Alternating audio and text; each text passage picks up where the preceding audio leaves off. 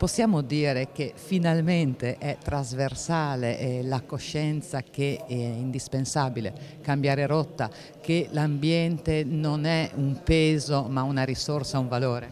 Io lo dobbiamo assolutamente dire perché credo che sia l'elemento culturale più importante di questi nostri anni e soprattutto in un momento storico in cui l'America rischia di eh, su questo smarcare no? e diciamo, vedere nella lotta ai mutamenti climatici un limite è fondamentale che il tema ambientale invece è, ehm, sia assolutamente non un tema di parte, eh, una questione da ambientalisti ma che invece venga riconosciuto e eh, praticato criticato soprattutto dalle imprese, dai governi, dai decisori politici. Ecco, su questo io credo che il mondo economico è, sia abbastanza avanti, che in Italia abbiamo delle ottime esperienze che ci, ci permetterebbero di essere leadership della green economy sicuramente in Europa e soprattutto sono la migliore dimostrazione, al di là di quello che dicono gli ambientalisti, che l'ambiente non è un limite ma ormai è un orizzonte di sviluppo.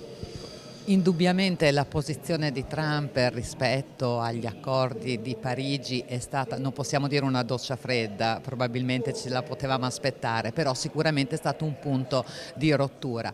Però sono eh, i territori in qualche modo sono insorti, negli stessi Stati Uniti tanti hanno detto comunque a noi non va bene. Nonostante tutto, nonostante i no, nonostante le rigidità bisogna andare avanti.